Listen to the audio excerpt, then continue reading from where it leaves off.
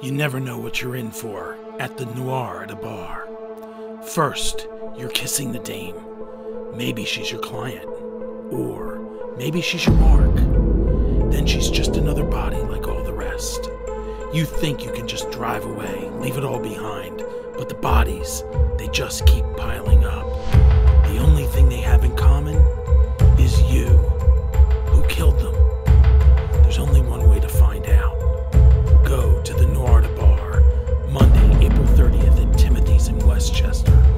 12 authors will read their noir stories. Get there before the next body is yours.